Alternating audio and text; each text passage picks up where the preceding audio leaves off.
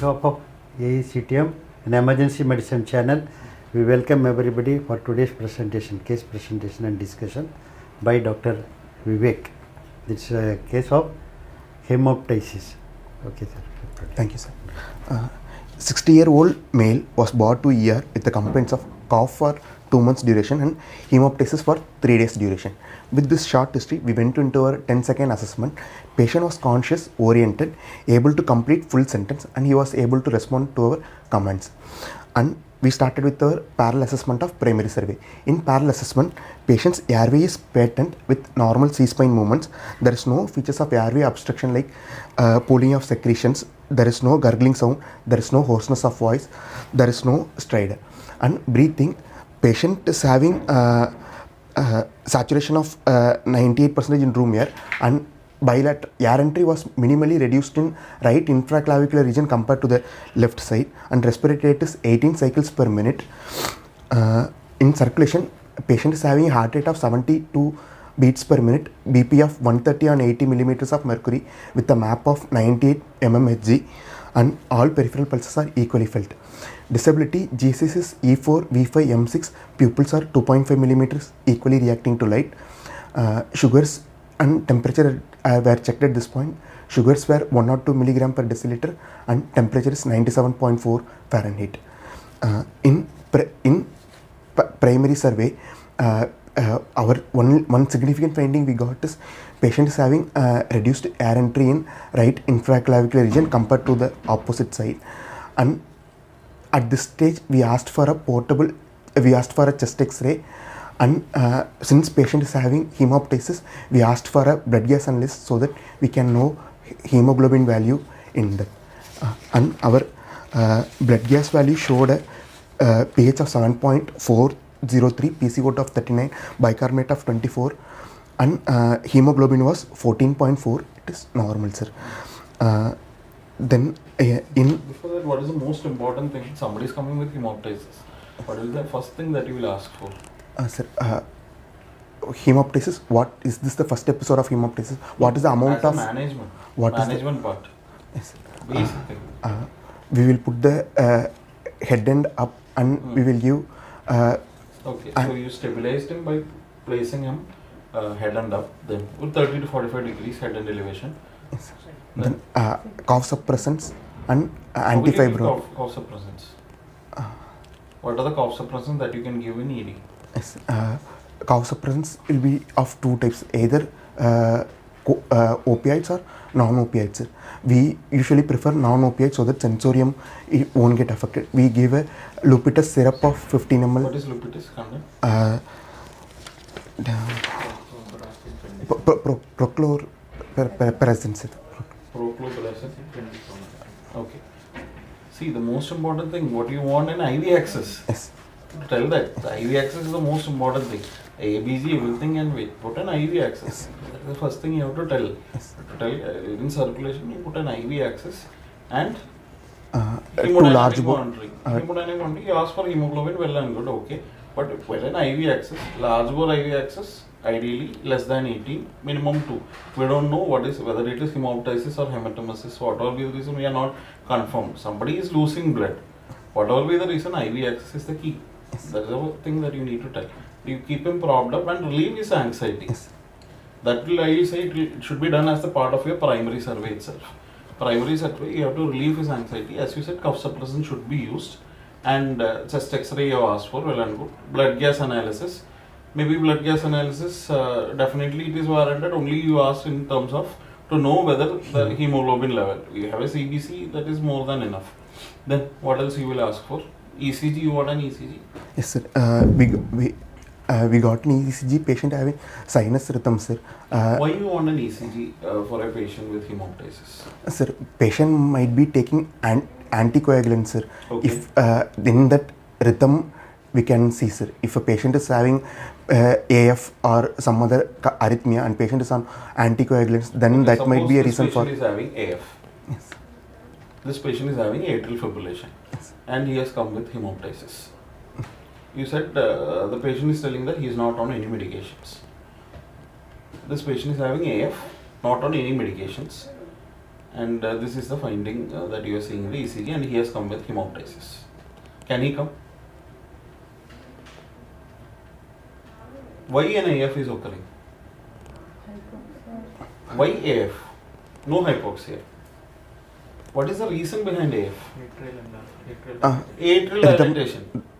So why a patient can have an atrial dilatation? Young male can have M- mitral stenosis. MS. You have to keep in mind mitral stenosis. That's a clue that I wanted to give. That is only don't just think of your pulmonary reasons. An atrial fibrillation indirectly gives you different things. Whether the patient is having a mitral stenosis, that can they they will be the first presentation. Maybe the murmur in a difficult noisy ear is difficult to find. Only thing that you will be getting is an atrial fibrillation. And what will be the other findings in ECG if you are suspecting a mitral stenosis? P, P mitral will be there, sir. P mitral will P be there. So that is the next thing that you need to look for. Look for an evidence of an atrial fibrillation. That is why we have asked for an ECG. What are the other conditions that you can get it from ECG?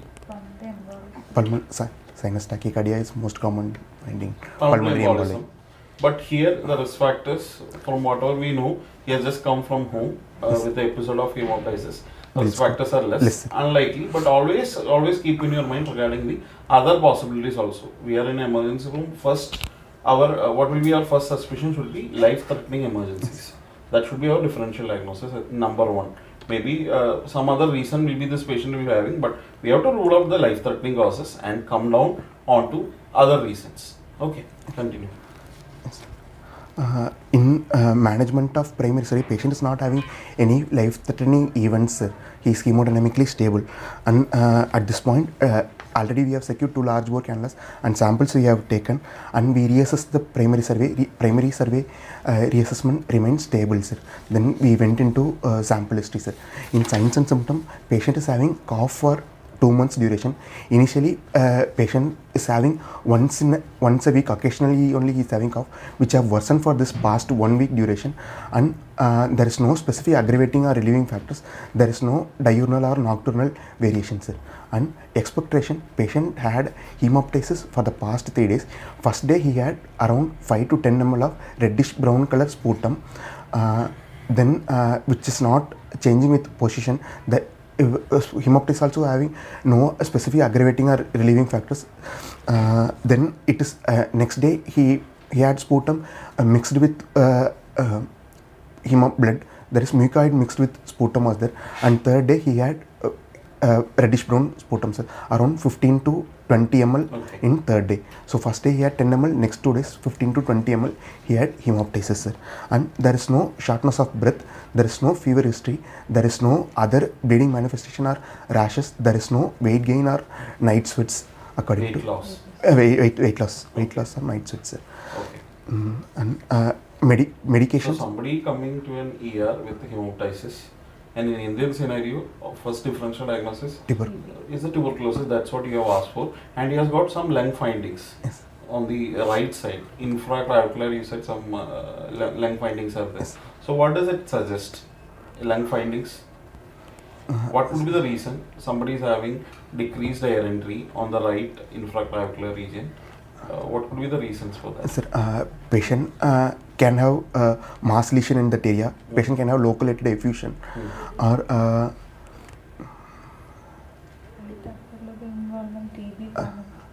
TB is highly, highly uh, suspicious. Is this thing? First thing I have to suspect is TB TB. only. With your lung findings and with this, you have to think of tuberculosis only. What will be the chest fi- X-ray findings in a tuberculosis? If you are Uh, suspecting this patient hemoptysis, what are the possible things that you can have? Maybe not for this patient. What are the possible things that you can expect? yes, trachea can be shifted to right, affected right side, Okay. and upper zone can have fib- uh, fibrocavity or it can have fibrosis. Rib crowding can be seen in right upper zones. Uh, then uh, There can be features of active consolidation also. Active tuberculosis also can be there. So that is also a possibility. So how will you differentiate you are having an interlobar effusion? Okay. So you're having an interlobar effusion, uh, whether it is due to tuberculosis or whether it is due to pneumonia, other pneumonia. It is pushed down. Can we Fissure. Usually, fissure. What will happen to the fissure in X-ray? uh, fissure, uh, lobar, look for interlobar fissure if it is pushed down or inline, sir. Okay. If it is pushed down, Uh, then it is because of uh, tuberculosis. Uh, more in favor of a pneumonia consolidation. And if it is pulled up, it is more in tuberculosis. favor of Pulled in, pulled up in more, tuberculosis. more in favor of tuberculosis. That is what you have to differentiate. And you have to look for any other mediastinal Lymph lymphadenopathy, any mediastinal widening, any other features, effusion, any pleural effusion, other areas, any effusion. These are all things you have to look in for. So that will be the, what is expected. What is the X-ray findings for him? Uh, sir, uh, this patient uh, uh, chest X-ray was taken, sir. Uh, he is having right upper zone. Rib crowding was noted, Rib sir. crowding Rib crowding was- was noted. Sir. Okay, okay, fine. Uh, then uh, Rib crowding with absent air entry. What could be the reason? Other thing. So there is rib crowding and there is no air entry, decreased air entry. What could be the reason? Collapse. collapse, Collapse. collapse. Next thing is collapse, Collapse. that you have to think in for. Okay. Uh, then uh, in uh, we proceeded Nothing with much in the uh, history. medical Mm, history. uh, medication. Patient is a known case of hypertension on amlodipine 5 mg. He is a known case of uh, known patient of uh, type 2 diabetes on metformin uh, 500 mg BD he is taking sir. And he had a history of uh, intervertebral IVDP uh, for which surgery have been done 10 years back sir. okay. Uh, then uh, last meal details is 3 hours back sir. In examination finding in head to toe examination there is no uh, pallor, no pedal edema, no clubbing, uh, no cyanosis. Nothing, no other positive no, findings. no. Cardiovascular system? Uh, uh, cardiovascular system Normal. normal sir. No. Respiratory uh, Respiratory system, yeah, meanwhile you had decreased air entry. Yes. And what was the note on percussion? uh, dull note on percussion. Dull note on percussion. Okay. Upper uh, trachea is in midline, no dilated veins. Upper nose and oral cavity is also normal sir. No. no. So, uh, how will you manage this patient now? He's having, for example, uh, he's having further episodes of hemoptysis. Yes, a patient uh, further. Our management starts with airway breathing and circulation, sir. Mm.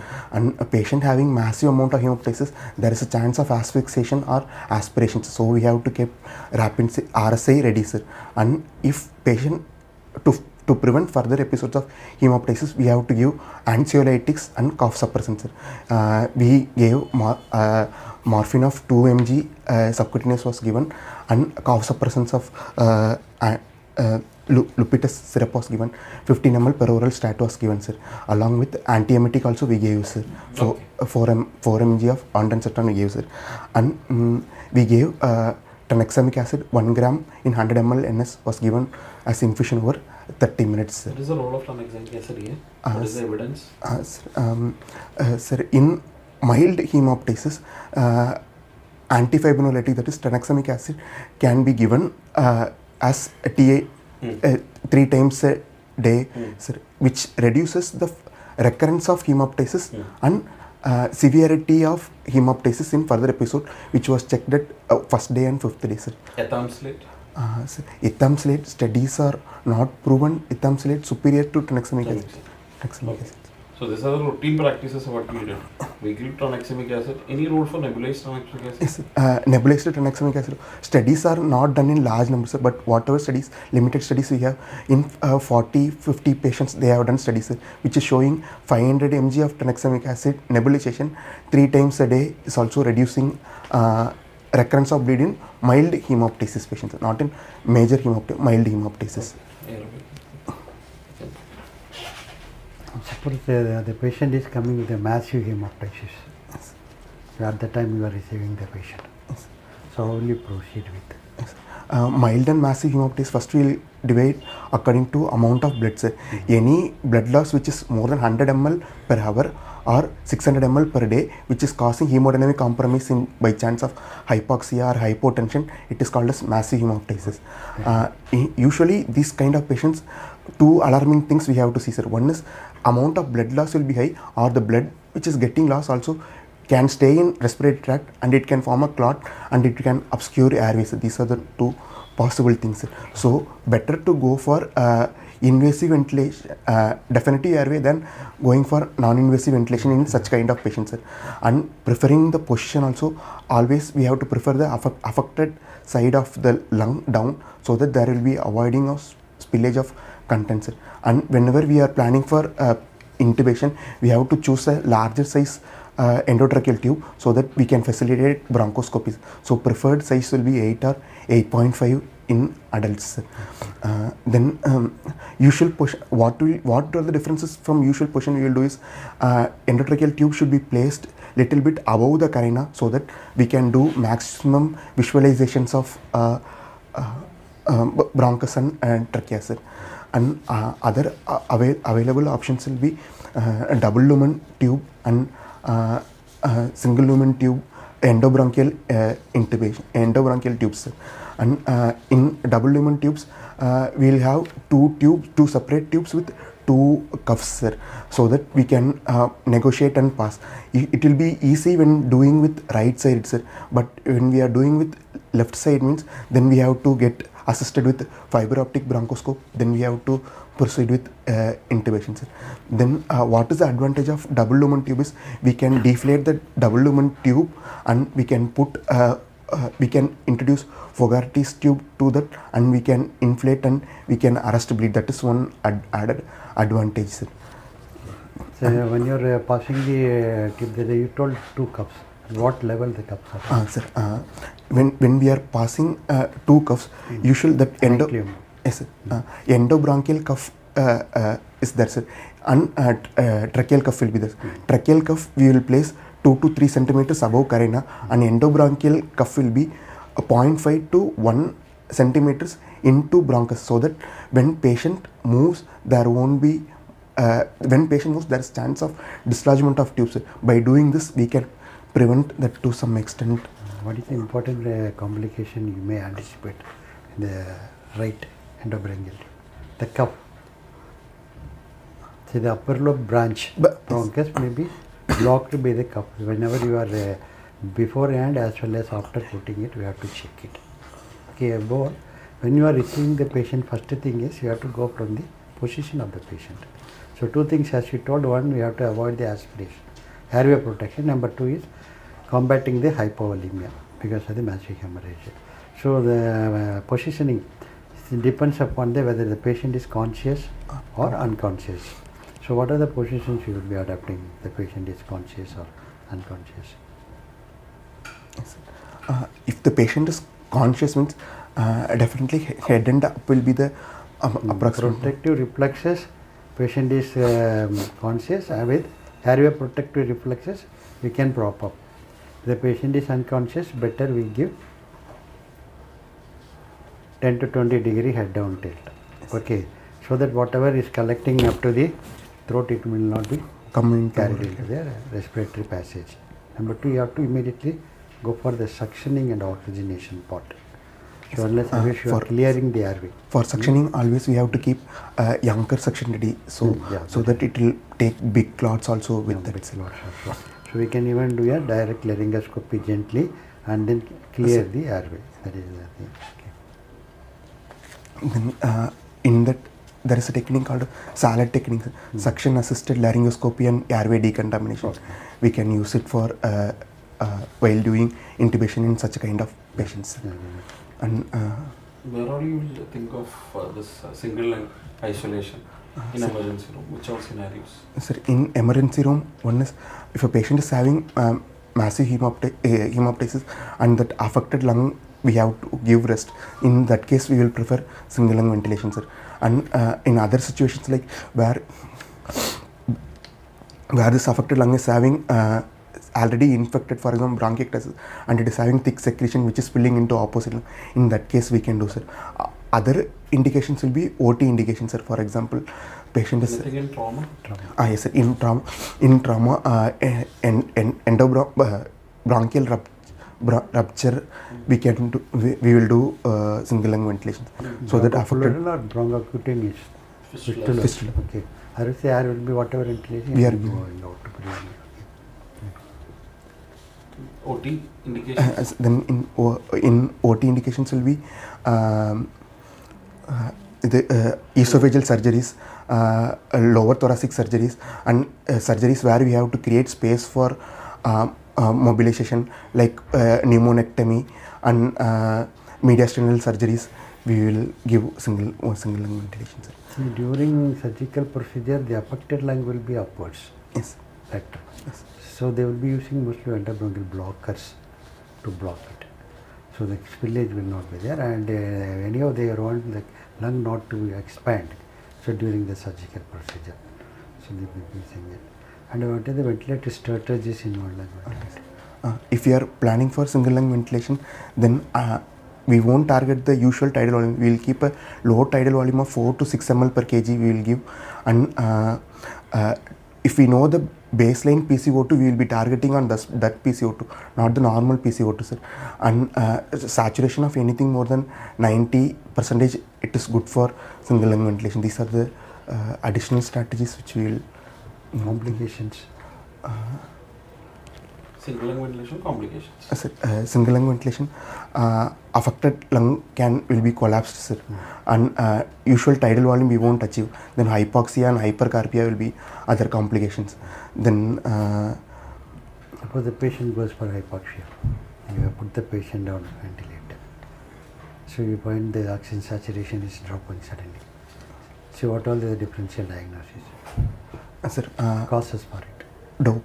Regularly manage. Yes. What is the Uh, cause for hypoxia? Uh, first, if a patient on ventilator going for desaturation, we will think of dope only. Displacement, ob- obstruction, Ah, okay. positioning, and equipment failure, extubation. Uh, then in Pneumothorax. pneumothorax. But Uh, not real specifically. Tension pneumothorax especially. Okay.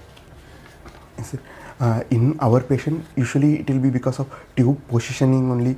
We will be you have to check the tube position. Okay. So first clear this one. Okay. Whether the tube is in the proper position. Number two, the pathophysiology of the hypoxia. Lung. Whether this hypoxia is creating any compromise in this patient that we have to check. Sir. If that is uh, creating any compromise, then we have to revise our plan and we have to change. sir. If it is not uh, causing any hemodynamic compromise or tissue damage, then we can. Uh, hypoxia is acceptable because only we are ventilating single. lungs. No, no. How much hypoxia permissible?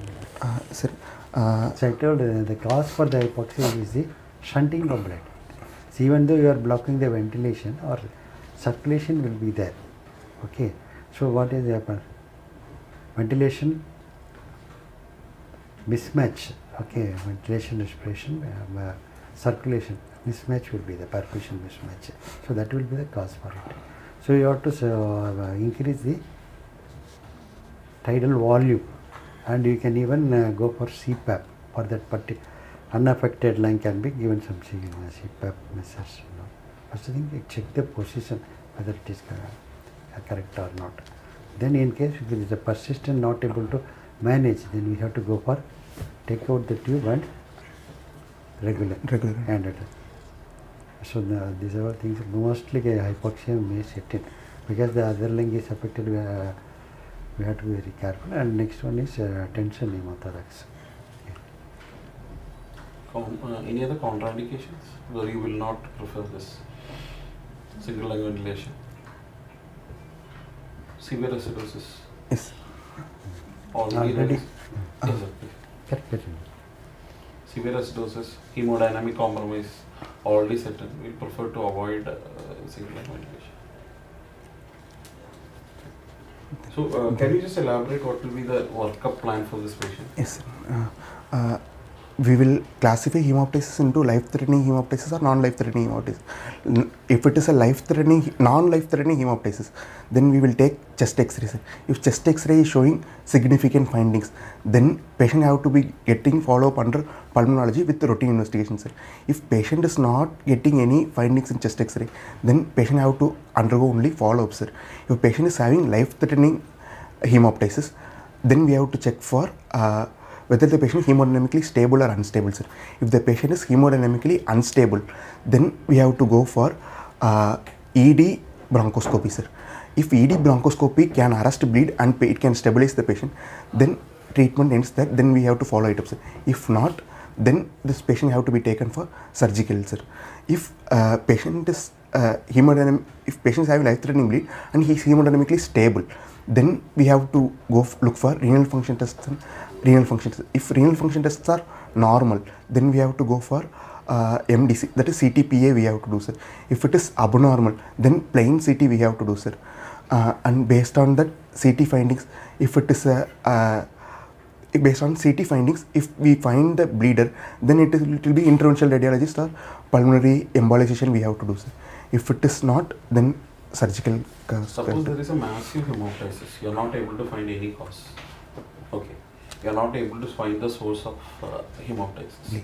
What is the ultimate thing that you can do to prevent that hemoptysis? Any intervention? What else you can just embolize the bronchial artery and see. We are not sure what is happening. That is only the final option. The patient should not bleed and die. And uh, always look for other causes also. Uh, maybe it will not be just uh, to do with the anatomical problems in the lungs, or it can be due to some other problems like uh, cardiac issues and valvular issues also we have to cardiac and valvular issues and auto. Autoimmunity, sy- Goodpasture syndrome, uh, Wegener's granulomatosis, SLEs, these also can to present. remember that also. Uh, unless and until you are not finding a cause, uh, majority of the time it is difficult to find a cause in uh, such hemoptysis. Uh, maybe an AV malformation only at the time of bleed you will be able to identify. So sometime during the procedure you will not be able to identify. So maybe the patient will be coming recurrent to you with the history of hemoptysis. So and again and again you have to make sure that it is hemoptysis. That is one thing. Many of the time it can be an hematemesis also. They will be wrongly saying it as uh, hemoptysis. So these are all things you should keep in mind. Don't just take it for granted it's a pulmonary issue. It can be due to some other problems also. So being in an emergency room, our primary aim is to stabilize the airway breathing circulation and uh, very rarely we need to do a lung isolation as we described. Very very rarely because usually massive hemoptysis will be, I think all the hemoptysis will be less than 5 percentage.